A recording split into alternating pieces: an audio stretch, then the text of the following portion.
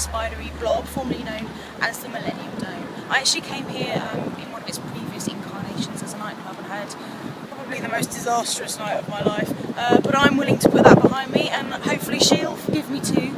Uh, home watch to the games, I saw countless young men and women swing and flip their way to victory. Uh, on that particular occasion I was positioned right up in the rafters and if you've ever been here you'll know that's quite a dizzying experience and even with my finest theatrical performance of a sweating and hyperventilating vertigo sufferer, I failed to get a better seat. Uh, but this time, this time I'm in for a treat because this time, boys and girls, I've got the golden ticket. I've got top-notch priority seating, priority entrance, gold-plated fucking toilet seats. This time, I'm going to be sitting front row to see the poet, the icon, the singer-songwriter, the legend, Cohen. go in. and I am freaking out. I'm freaking out.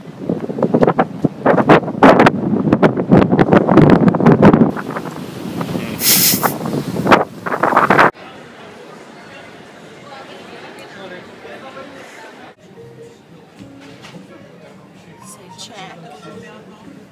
Check. I'm sorry, could you could you spell that out for me? Does that say V I P? Maybe it does.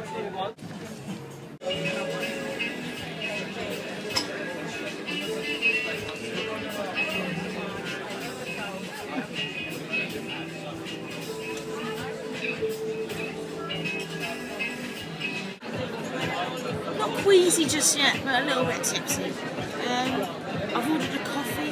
It took a while to get here, but it's really nice. Just trying to sort of equal out the wine and the coffee. I'm really hoping I don't just need to piss the entire way through the concert. Uh, still really looking forward to it. Still really up for it. Um, should probably calm down on the whole drinks, although I might have to have some water. I'll let you know how it goes. Oh, the ever predictable queue for the toilets. Yeah. For the ladies' mind, of course, my husband Michael just walked straight through. Um, it's not quite Calcio, but hey, you can have a piss in it, so um, I guess we'll just wait and see.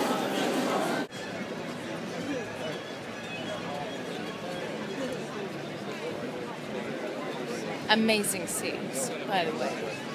They wouldn't let me keep the top to my water, which I'm really upset about. So now I have to guzzle it really, really quickly and buy another one. Ooh, I wonder why they did that. Before I let you take my horse,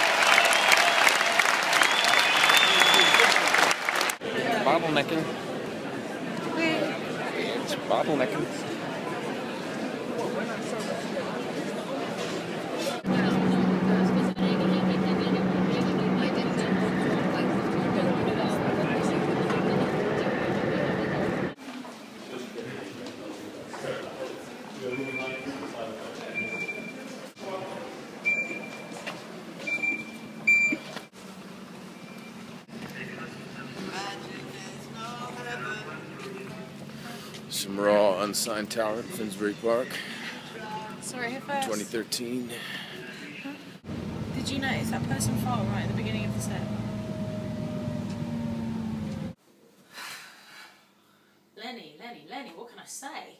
I went with high expectations tonight and you completely smashed them all. I mean, dude, you were you were amazing.